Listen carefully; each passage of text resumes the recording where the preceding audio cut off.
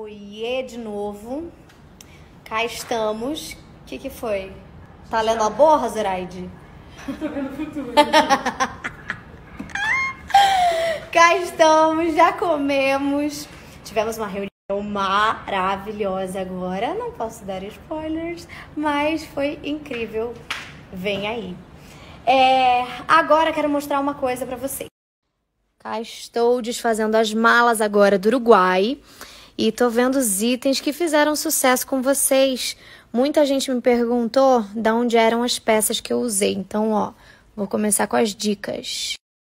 Outra peça que eu usei na viagem e vocês comentaram muito é essa bolsa da Jaquemos rosa pink. Usei no aniversário do meu pai. Aniversário não, gente, tô louca. No casamento do meu pai. E usei ontem.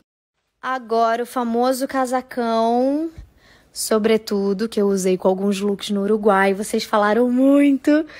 Comprei na Renner e o custo-benefício dele foi maravilhoso, tá? Eu acho que foi uns 200 e pouco. E essa minha bolsa, que eu sou completamente apaixonada, é da Gucci, é uma edição limitada, se eu não me engano, de Valentine's Day. Quem me deu foi uma fã, inclusive, por favor, você que me deu essa bolsa, entre em contato comigo, manda uma mensagem pra Central, porque eu lembro muito da sua cartinha falando que era minha fã desde a época de Chiquititas e por isso que tava me dando a bolsinha cheia de coração para lembrar de coração com buraquinhos.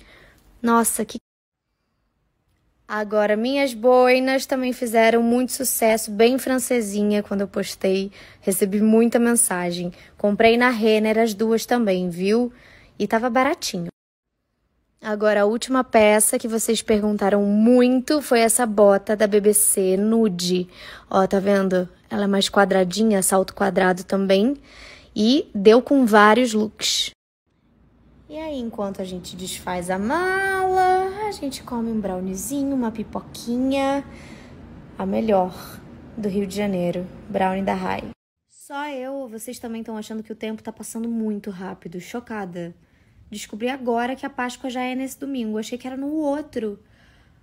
Vou abrir até uma caixinha aqui. O que vocês fazem na Páscoa? Que eu ainda não programei nada.